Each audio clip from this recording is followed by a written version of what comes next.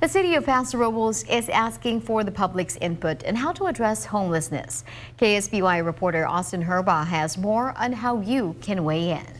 The city of Paso Robles is developing a five-year strategic plan to address homelessness, which was the topic of a public discussion here at the city council chambers. Homelessness is an issue that has become more visible across Paso Robles in recent years, from the Salinas riverbed to City Hall. I feel like it's just been very much on the front and foremost of what you're seeing. Just even walking around downtown, you can see it. Last year's point in time survey found more than 230 homeless people in and around Paso Robles. It's really concerning. I mean, just from the heart, it's hard to see people struggling. The city of Paso Robles is looking to tackle the growing problem by taking a localized approach to a statewide issue. I think homelessness really touches all of us. A 35 member task force is developing a five year plan that will be presented to the city council this fall. It's a very complex group of people that are working on helping us develop this plan.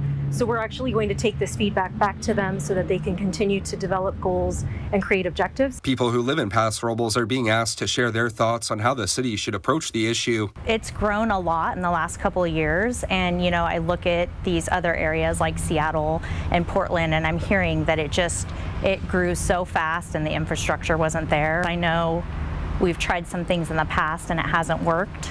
And so hopefully we can get some good ideas rolling. The city hosted a discussion with members of the public to gather input on Friday evening. I think there's a couple of different ways to look at this. I think there's different reasons why people are homeless. Some say they are concerned about the high cost of rent and lack of affordable housing in the city. Mental health is obviously something and, and, and substance abuse, but then you, you do have other people just out of no choice for reasons of housing or not being able to find a job. Another man who spoke hopes the city will look at the impact of business when choosing a location for a homeless facility. The city's task force will spend the rest of the summer drafting an initial plan. We have a couple more working group meetings through the end of August, so I'm looking at probably September, October. The goal is to improve public safety while helping out people who are in urgent need of support. Sometimes I see that they're not seen as humans, and I feel like we need to get back to looking their people too. Reporting in Paso Robles, Austin Herbaugh, KSBY News.